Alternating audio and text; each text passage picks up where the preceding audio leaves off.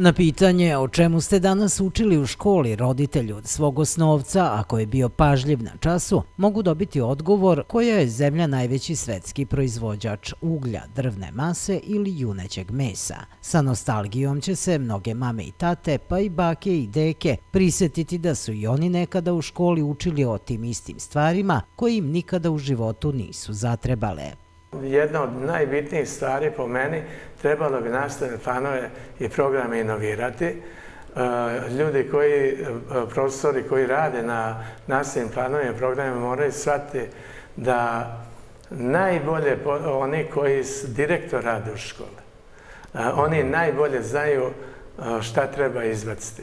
Jer se iz mnogih stvari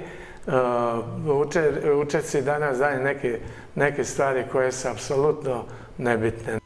Obrazovanje dece treba da bude više usmereno na to da nauče o praktičnim stvarima koji će im kasnije biti značajne, smatra nekadašnji direktor Novosadske osnovne škole Kosta Trivković. On se usvrnuo i na odnos nastavnik-učenik koji se, kako kaže, menja još od 80-ih godina, gde se promjena sistema vrednosti u društvu, porodici, uz pojavu i uticaj društvenih mreža prelivala u škole donoseći nove oblike nasilja na koje još nema adekvatnog odgovora pregovora.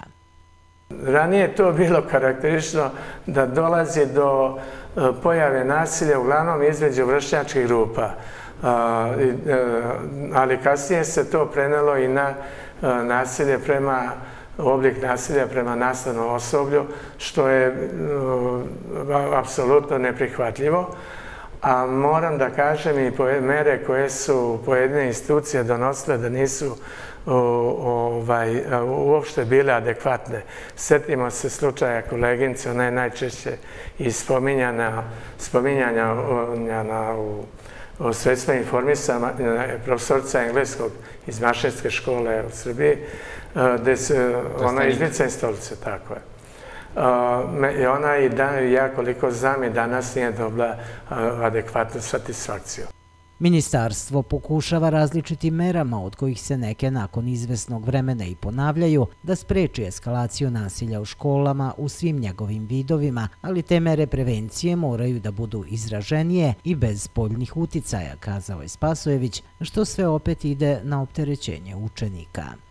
Znači, broj časova koje dece imaju i kada dodate još neke druge stvari i tako dalje, e, onda to sve više utreće dece i plus imamo, moramo znati da i deca imaju obaveze, porodične obaveze ili obaveze koje porodice nametne. To je pohađanje, e, recimo, e, što je jako dobro, muzičkih škola, škola stranih jezika, sporta, i tako dalje. Nekih van nastavnih aktivnosti, tako dalje.